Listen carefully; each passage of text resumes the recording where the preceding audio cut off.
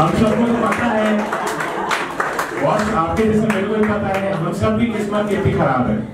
हर वक्त हमको लगता है, यार, मेरे साथ ही ऐसा क्यों होता है? आप सबको लगता है क्या ऐसा? बिल्कुल। जिस लाइन में मैं लगता हूँ वो लाइन थोड़ी सी धीमी क्यों चलने लगती, बाजू वाली लाइन जल्दी क्यों निपट जाती? जब मेरा एग्ज़ाम होता है तो पेपर टफ क्यों आता है? जो मैं पढ़ के आता हूँ, वो कभी क्यों नहीं आता? लेकिन आप सबकी किस्मत से ज़्यादा ना, मेरी किस्मत खराब मैं बताता हूँ कैसे। दिन भर हेलमेट पहनकर पूरे शहर में घूमता रहता हूँ, एक पुलिस वाला नहीं दिखता। एक नहीं मिलता। लेकिन शाम को जब घर के बाजू वाली दुकान में जाता हूँ बिना हेलमेट के तो भाई साहब सामने ही मिल जाते हैं। कट जाता है दो सौ का चालान। ऑफ़िस जाने के लिए जिस दिन लेट हो रहा होता हूँ ना, मुझे पक्का ट्रैफ़िक जैम मिलता है। सिग्नल की हर लाइट मुझे रेडी मिलती है। एक भी ग्रीन नहीं मिली आज तक। जब भी ऑनलाइन कुछ ऑर्डर करता हूँ पेमेंट करने जाता हूँ, हमेशा अकाउंट से पैसे कट जाते हैं, पर ऑर्डर कंफर्म नहीं होता। आपको भी साथ होता है क्या ये सब? और फिर ऐसा होता है ना कि उसमें जो आपको ऑफ़र मिला होता है ना, उसके लिए लेने के लिए आपके अकाउंट में पैसे नहीं बचे होते हैं। अब सेकेंड टाइम ऑर्डर कर नहीं पाते। गया वो आइटम बैंक में जाता हूँ तो उनकी कनेक्टिविटी फेल हो जाती है। अरे भाई वहाँ भी गए। लोन लेने जाता हूँ तो बोलते इंटरेस्ट रेट बढ़ गया है भाई। वहाँ भी गया। जहाँ भी जाता हूँ वहाँ पे मेरी वाटी लग जाती है। कार धुलवाता हूँ उस दिन शाम को बारिश हो जाती है बाजू वाला छींटे मार के चला जाता है।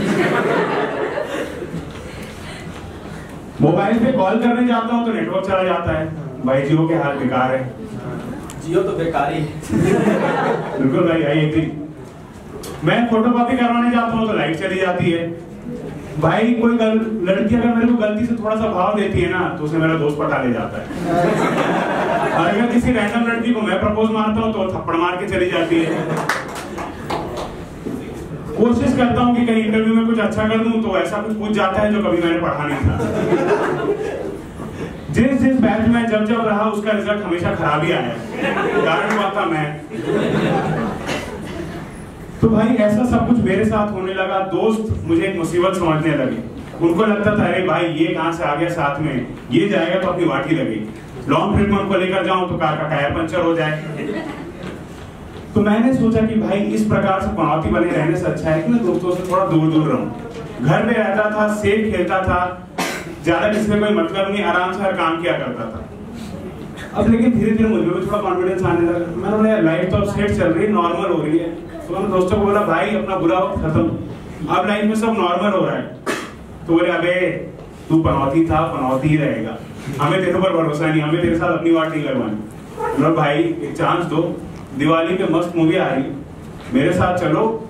एडवांस बुकिंग मैं कराता हूँ, अगर पिक्चर अच्छी नहीं लगी ना तो मत आना।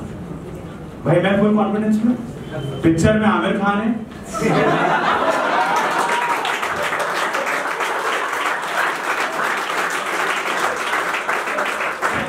आमिर है अमिताभ भी है। और नहीं हम सारे लड़के थे तो कटरीना तो थी थी। हम लग, भाई, मैंने बोला, यार, कोई टेंशन नहीं, इसमें अपनी अब कोई वाट लग नहीं सकती। मैंने ऑनलाइन एडवांस बुकिंग कराई, भाई। और साथ में ना, इतना कॉन्फिडेंस आया, भाई ऑनलाइन पॉपकॉर्न भी बुक करा। भाई, गए हम सब मूवी देखने। इंटरवल के टाइम जो लाते पड़ी ना यार भाई पॉपकॉर्न तो किसी ने पूछा नहीं। दोस्त तो अब मेरे कोई रहे नहीं। अब अकेला अकेला सा घूमता हूँ। सात टिकट के पैसे तो डूबे नहीं लेकिन मुझे अपनी किस्मत पे पूरा भरोसा हो, हो गया कि अब इसका कुछ भी नहीं हो सकता है। Thank you so much